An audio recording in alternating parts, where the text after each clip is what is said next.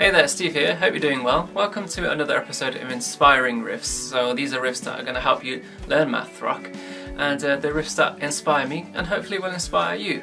Uh, today we have the wonderful Delta Sleep and this is one of my all-time favourite math rock records and this is Ghost City and um, the track from it is After Dark and it's got this really peculiar uh, odd timing picking pattern in the start that's based around a D major 9 chord.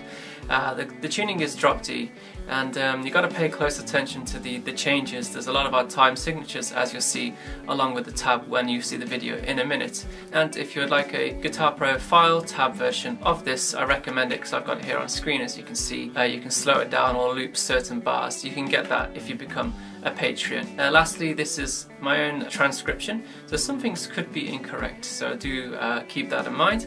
As always, uh, thank you for watching, and I'll see you again soon. Goodbye.